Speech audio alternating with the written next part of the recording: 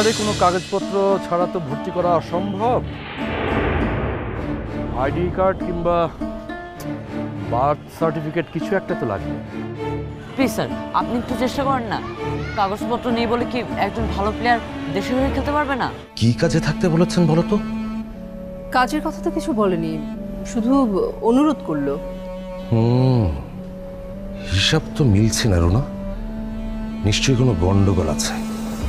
নরিনের তো ধুম করে এতটা পাল্টে যাবার কথা না? হ্যাঁ আমারও তেমনটাই মনে হচ্ছে। আচ্ছা ভালো কথা। নরিন ম্যাডাম কিছু আজ করতে পেরেছে? পঙ্কজ? না না ওকেও তো আমি কিছু বলিনি তাহলে? তুমি তাহলে এখন কি করবে সাদিক একা যাবে নাকি? না তুমি একটু আগে বললেই হতো কাউকে সাথে নিয়ে যেতাম। আচ্ছা শোনো ভয় লাগলে না হয় থাক যাওয়ার দরকার নেই। ভয় কিসের ভয়? আরে দেখো না আজকে আমি কি করি। আলিয়ার পার্টনারকে এখন আর বাহাদুরি দেখিয়ে কোনো লাভ নেই সাদিক। বিয়ে তো করেই ফেলেছো দুইটা। এখন আর কার চোখে হিরো হতে চাও? হুম? কার জন্য বাহাদুরি দেখাতে চাও? তিন নম্বর কারোর জন্য? কি- কি কথা বলছো তুমি? আমি কিছুই বলতে চাচ্ছি না। প্রতি মুহূর্তে এই যন্ত্রণাটা আর বয়ে বেড়াতে পারছি না। হ্যাঁ যন্ত্রণা তো আমারও কম না। আর সেটা শেষ করতেই যাচ্ছি এখন। দেখো পারো কিনা। তবে তুমি যদি আজকে কোনো স্পার উস্পার না করতে পারো তাহলে আমি কিন্তু কঠিন সিদ্ধান্ত নিতে বাধ্য হব। প্লিজ আরেকটু ধৈর্য ধরো হ্যাঁ? আমাকে আরেকটু সময় দাও প্লিজ আমি তাহলে যাচ্ছি কেমন? প্রথমেই লোকটার সামনে যাওয়ার কোনো দরকার নেই হুম? দূর থেকে দেখবে। দূর থেকে দেখে যদি লোকটাকে সুবিধার মনে না হয় তাহলে দূর থেকেই মোবাইলে ছবি তুলবে। দরকার হলে ছবি আমরা পুলিশে দিয়ে না হয়। আরে কি যে বলো না সাদিক খানের সঙ্গে পাল্লা দিতে এসেছে। দেখো না আজ ওর কি অবস্থা আমি করি।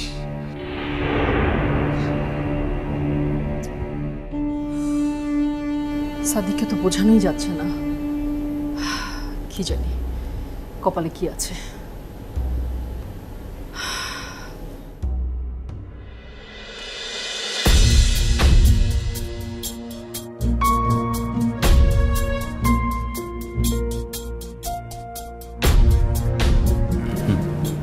চলুন চলুন ম্যাম আমি যেভাবে বলেছি পুলিশের সাথে ঠিক সেভাবে কথা বলবেন হ্যাঁ? পুলিশ কিন্তু অনেক কড়া। আপনাকে বিভিন্নভাবে খুঁজে খুঁজে প্রশ্ন করবে কিন্তু আপনি নার্ভাস হবেন না। আপনি আপনার কথা কথাতেই থাকবেন ঠিক আছে? চলো। কে হলো ম্যাম? চলুন। পঙ্কজ আমার না কেমন অস্বস্তি লাগছে।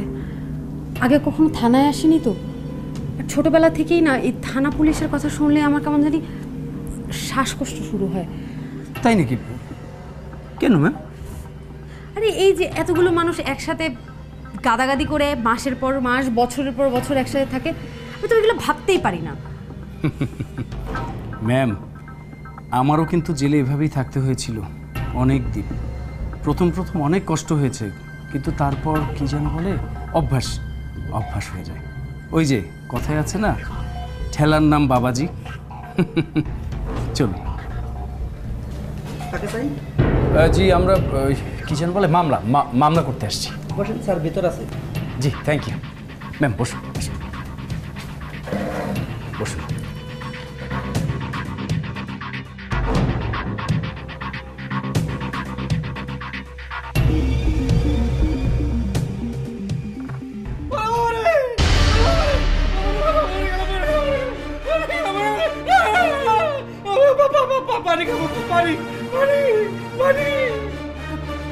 কার ম্যাম ওই কোনো আসামিকে বোধহয় জিজ্ঞাসাবাদ করছে। অসুবিধা নেই। বসুন।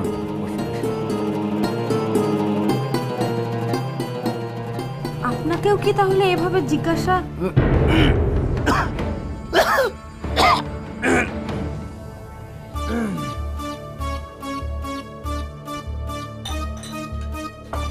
আরে পঙ্কজ সাহেব যে জি স্যার। হাজিরা দিতে আসছেন?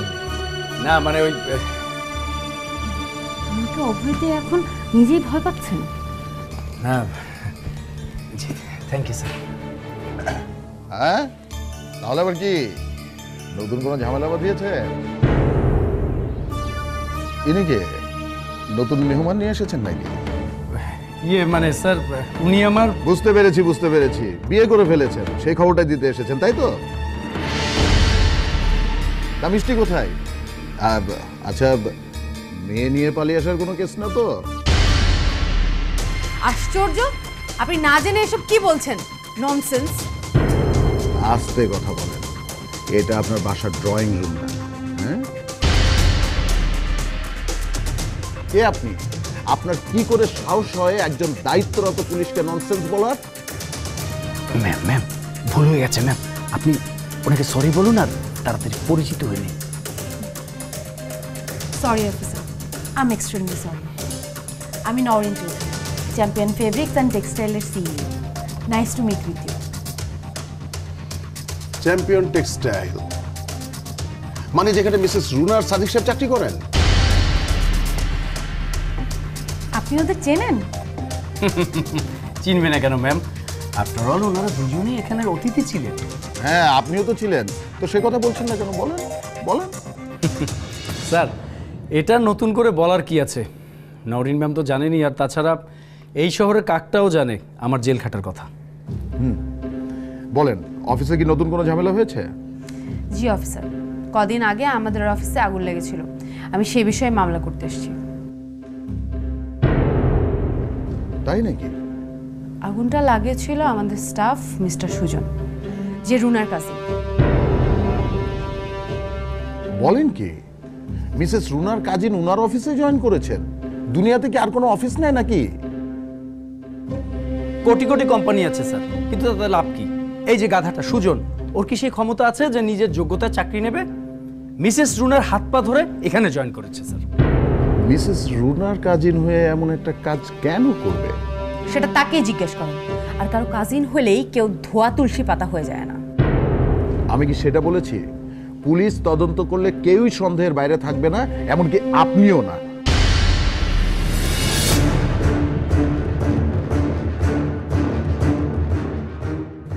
না মানে অফিসার এত বড় একটা ষড়যন্ত্র আর অফিসার ক্ষয়ক্ষতি দেখার পর আমি নিজেকে ঠিক রাখতে পারছি না।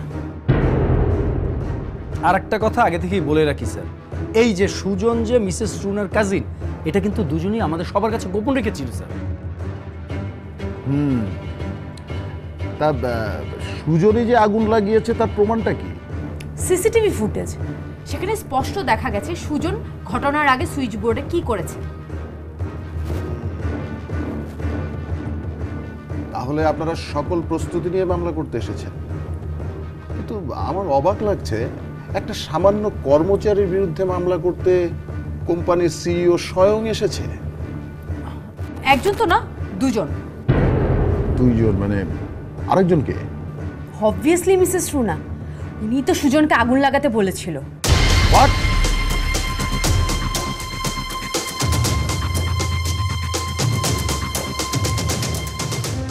আপনি মিসেস রুনার বিরুদ্ধে মামলা করতে চাইছেন?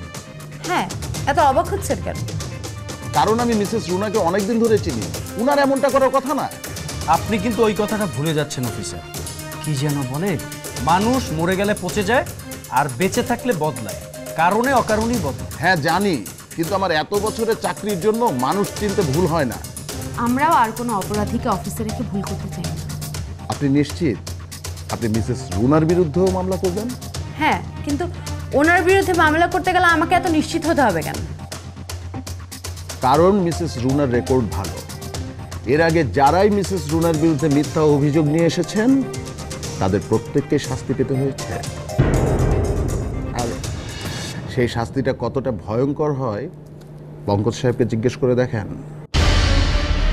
না না অফিসার এবার কোনো মিথ্যা না একদম সত্য অভিযোগ। এমন একটা লোকের কথা নাচ্ছেন ম্যাডাম। কপালে আপনার খুব খারাপই আছে। কপালে কি আছে তা জানতে আমি এখানে আসিনি। আপনি মামলা নেবেন কিনা সেটা বলেন। ঠিক আছে। পাশের টেবিলে আমাদের সেকেন্ড অফিসার আছে। ওখানে গিয়ে মামলাটা লেখান। ঠিক আছে।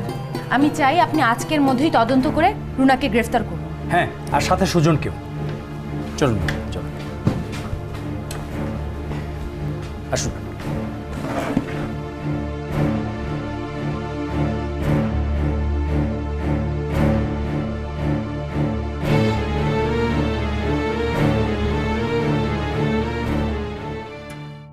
কি নাম তোমার? মুশফিক খান মুশফিক খান আচ্ছা। আচ্ছা তোমার ওয়েটটা মাপি তো দেখি এদিকে আসো তো। বেশির উপর। ওয়েট কত? ফিফটি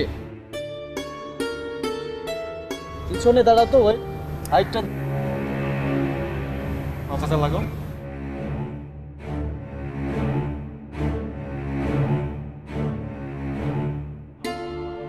আচ্ছা বসো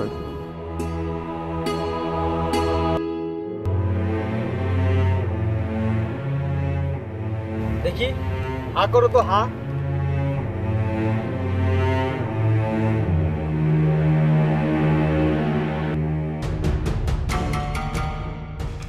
এটা কিসের টেস্ট তোমার বয়স দেখছি। তোমার দাড়ি গোপ হলো কিনা দেখতে হবে না? হ্যাঁ আমারও কি পোলাগোর মতো এমন করে দাড়ি গোছ দেখব? এই টেস্ট না করলে কি হয় না? না না। যা যা টেস্ট করার নিয়ম তা সবই করতে হবে। কিন্তু কেউ যদি কোনো টেস্ট বাদ দিতে চায়? তাহলে তাকে দল থেকে বাদ দেওয়া আচ্ছা আবার একটু হা করো তো।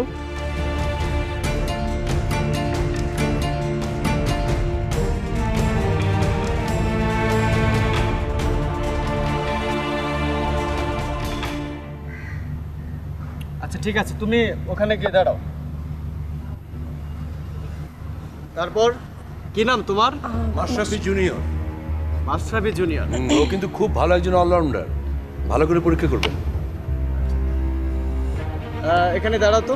ওজনটা দেখি কত। এই তুমি নামো তো। আরেকবার ওজনটা দেখি।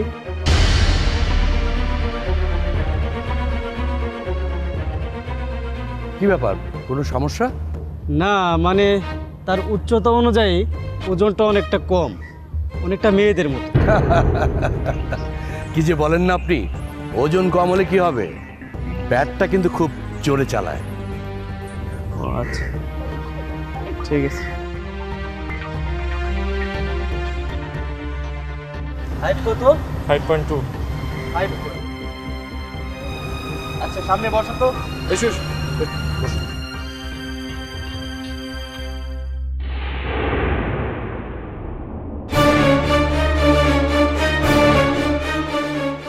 তোমার তো দেখি দাড়ি গোপ কিছুই হয়নি।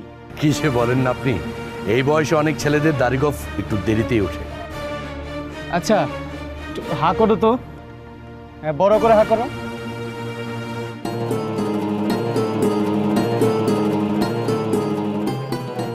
আচ্ছা আপনার কাজ শেষ হয়েছে? মাসাবি জুনিয়র তোমাদের টেস্টের রেজাল্টটা কালকে দেবে যাও।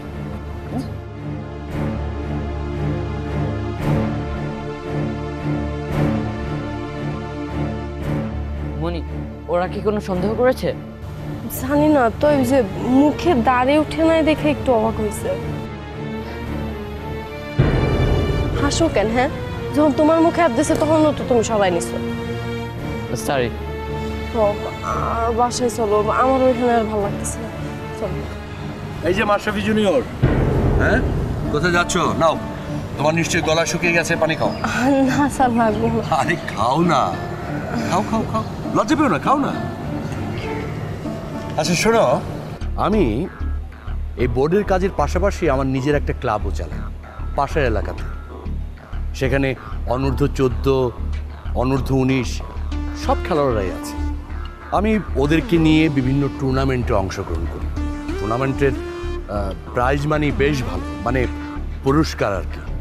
আমার আসলে একজন অলরাউন্ডার দরকার, তোমার মতো। তুমি ইচ্ছা করলে আমার ক্লাবে জয়েন করতে পারো। তাতে ম্যাচ ফিট টাকাটাও পাবে। স্যার আপনি কি খ্যাপ খেলার কথা বলছেন? প্রতি ম্যাচের সাথে বাড়তি টাকাও আছে ম্যাচটা জিতলে। কি মনে হয়? খেলবে? স্যার আমাদের কোচ বলেছেন খ্যাপ খেলা ভালো না আর একটা প্লেয়ার খ্যাপ খেললে তার স্বপ্ন বলে কিছু থাকে না। তুমিও কি তাই মনে করো মাশরাফি জুনিয়র? ও স্যার আমি আসলে ক্লাবের না দেশের হয়ে খেলতে চাই। বাহ খুব ভালো কথা। ঠিক আছে কি আর করা? আমি তো প্রথমে ভেবেছিলাম যে তোমার টাকার দরকার। এখন তো বুঝতে পারছি তুমি দেশের হয়ে খেলতে চাও। ওয়েলকাম আমি মনে প্রাণে দোয়া করি তুমি যাতে দেশের হয়ে খেলতে পারো। ভালো থেকো। Best of lakh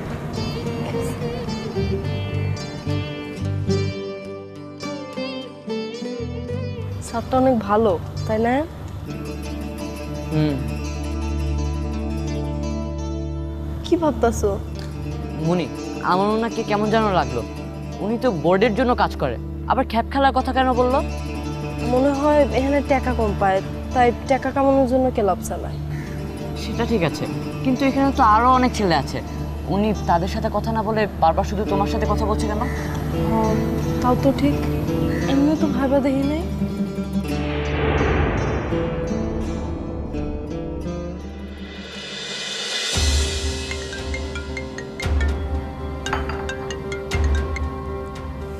Hello sir. Sir. G sir. Sir আমি মামলার চার্জশিট দিয়ে দিয়েছি স্যার। না না কোনো ঝামেলা হয়নি স্যার। ওটা তদন্ত রিপোর্টে দেওয়া আছে স্যার। জি স্যার। স্যার এবার আমার বিষয়টা একটু দেখবেন স্যার। অনেকদিন তো হয়ে গেল স্যার যদি প্রমোশনটা স্যার স্যার স্যার জি sir. Okay sir sir sir. স্বাগত স্যার। স্যার মামলার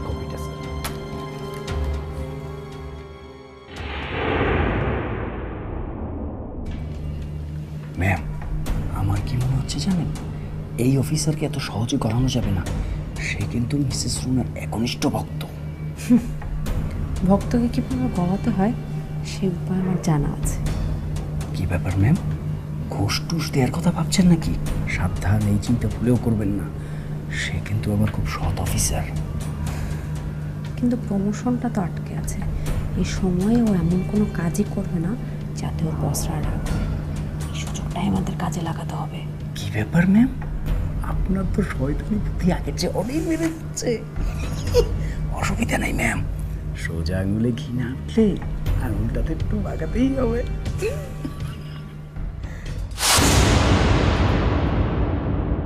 একটা চোর চোর জেলখানা আসামি হয়ে আপনি আমাকে পরিণতি শেখাচ্ছেন। থামুন অফিসার আপনি রুনাকে গ্রেফতার না করে আমাদের উপর অ্যাটাক করছেন কেন? আপনি হুট করে এসে যাকে তাকে দোষী বলবেন না সেটা আমি বিশ্বাস করব। আশ্চর্য অফিসার আমি লন্ডন থেকে এডুকেশন কমপ্লিট করে এসেছি এবং এখন আমি একটা কোম্পানির সিইও হুট করে থানায় এসে অভিযোগ করার মতো মেয়ে আমি না।